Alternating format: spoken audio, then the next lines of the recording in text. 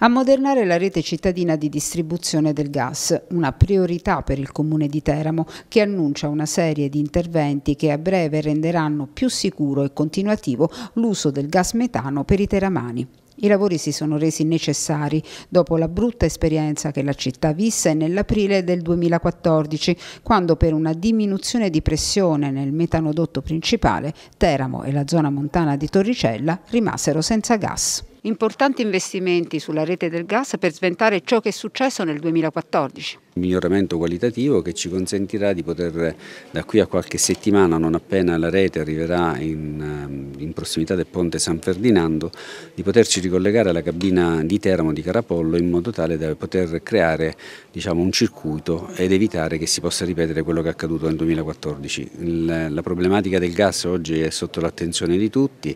ma questo non è un problema di erogazione di quantità di gas che esce, ma qui è, un, è stato un problema di prevenzione prevenzione per evitare che quello che è accaduto si potesse ripetere nella nostra città. Ecco, con queste attività, con queste importanti attività, con questi investimenti che sono stati fatti, oggi possiamo dire, da qui a qualche settimana potremo dire che questo problema dovrebbe essere scongiurato. Il collegamento tra le due cabine di distribuzione di gas di Carapollo e Teramo Nord farà in modo che non ci sarà mai più mancanza di metano all'interno degli edifici. Ci potranno invece essere disagi transitori per i cittadini a causa dei lavori di interramento dei tubi realizzati dalla società 2i Rete Gas sulle due arterie principali di Viale Crispi e Via Cona. Questi lavori naturalmente porteranno qualche eh, disagio alla città, quali in particolare? È inevitabile, come dicevamo prima, eh, il fatto che de si debba necessariamente scavare per poter posare dei tubi del gas, quindi